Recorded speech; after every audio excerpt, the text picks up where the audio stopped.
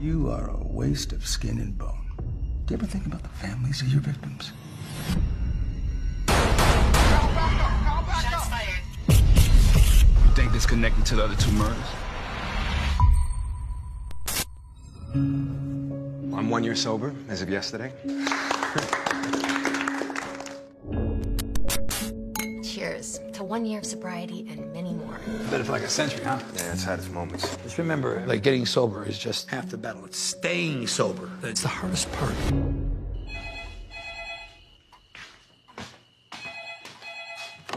You have any idea what time it is?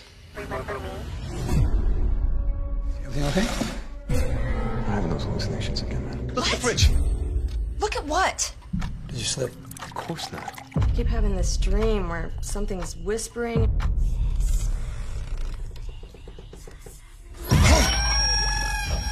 Phone's just been ringing nonstop. From who?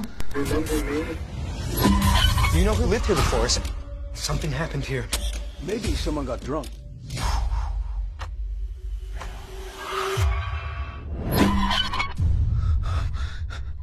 The two local murders were not investigated properly. I know it sounds crazy, but you gotta listen to me. This is not a good look for you. You don't stop calling me! What are you doing? I'm under pressure. I just feel like a stranger here. I think he's got something. Now the mayor's involved. I am this close to finding the truth. Remember me?